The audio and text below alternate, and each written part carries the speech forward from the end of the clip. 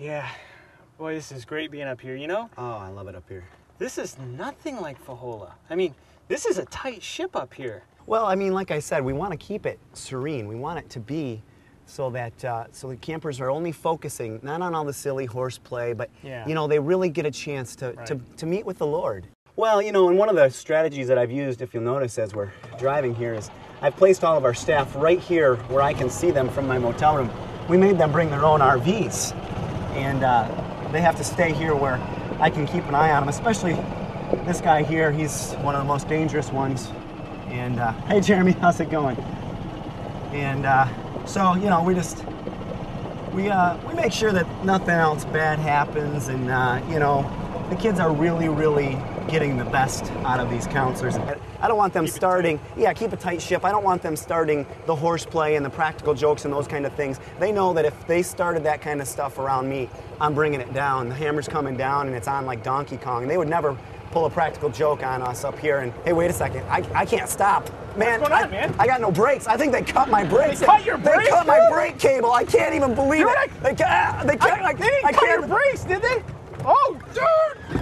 Man, this ain't good! Oh, dude, this is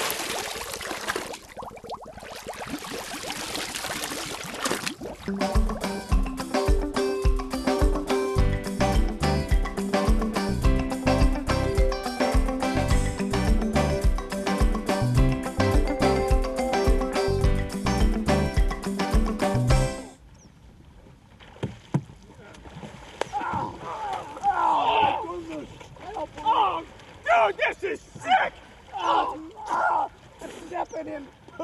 We're gonna kill. Oh, up here, dude! This is a rental. How are we gonna get this out of here? I can't even. Oh, I think I just lost my shoe. I know they're gonna keep my deposit on this for sure. Dude, we gotta get your truck. we gotta get it out of here now.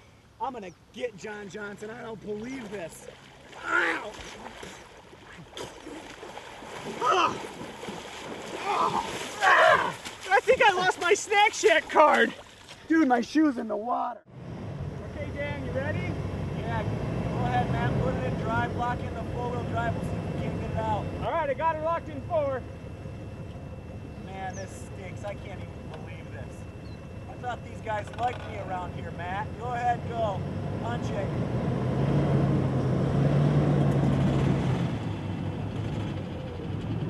Well, uh, man, I don't know what to say. I, you know, I guess it's true. You know, the Word of God says pride goeth before the fall, and uh, that was quite a fall. So, John, I owe you one. And uh, hey, I love you guys. You're the best.